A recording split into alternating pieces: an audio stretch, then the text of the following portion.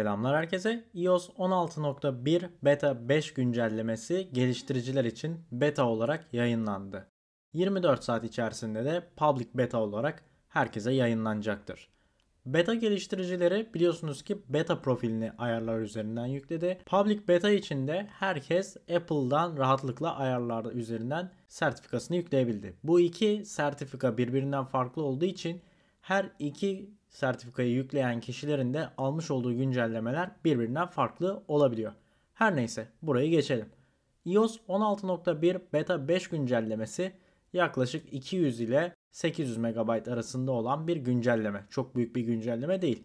Siz bu yandaki ekran görüntüsüne aldanmayın.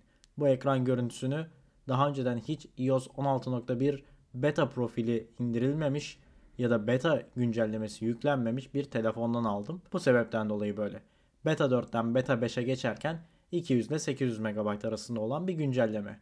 Bu güncellemede yeni bir özellik, bir yenilik yok. Tamamıyla hata gidermelerine, bug fixlere, performans iyileştirmelerine ve batarya optimizasyonu için yapılmış bir güncelleme. Bu güncellemeyi Beta 4'ü kullanıyorsanız yani iOS 16.1 Beta 4'ü kullanıyorsanız kesinlikle indirmeniz gerekiyor. Öneriyorum daha doğrusu. Gerekiyor demeyelim. Ancak iOS 16.1'i beta olarak kurmadıysanız kurmanıza da gerek yok. Zaten güncelleme tam sürümüyle çok yakında yayınlanacak. Ne kadar yakında? Bugün ayın 11'i. Bugün beta 5'i geldi. Haftaya yani ayın 18'inde beta 6 gelecek. Bir sonraki hafta 25'inde RC Release Candidate sürümü gelecek. Yani aslında tam sürüm sadece geliştiriciler için yayınlanmış bir tam sürüm adayı diyelim biz buna. 25'inde RC sürüm geldiği zaman ayın 3'ünde de tam sürüm iOS 16.1 tam sürüm bütün kullanıcılar için beta profili vesaire yüklemeyenler için de yayınlanacak. İşte o zaman iPhone 11, 12 mini, 13 mini ve XR kullanıcıları pil yüzdesine rahatlıkla kavuşabilecekler.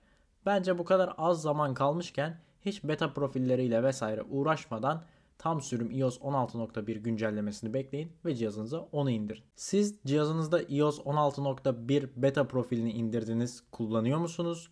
Eğer kullanıyorsanız ne gibi hatalar fark ettiniz? Çünkü Apple'ın web sitesine göre hala iOS 16.1'de bir sürü hata var. Sizin fark etmiş olduğunuz hatalar nelerdir? Bunları aşağıda yorum satırında belirtmekten çekinmeyin. Ve bu tarz videoları kaçırmamak için de kanala abone olup çanı açabilirsiniz.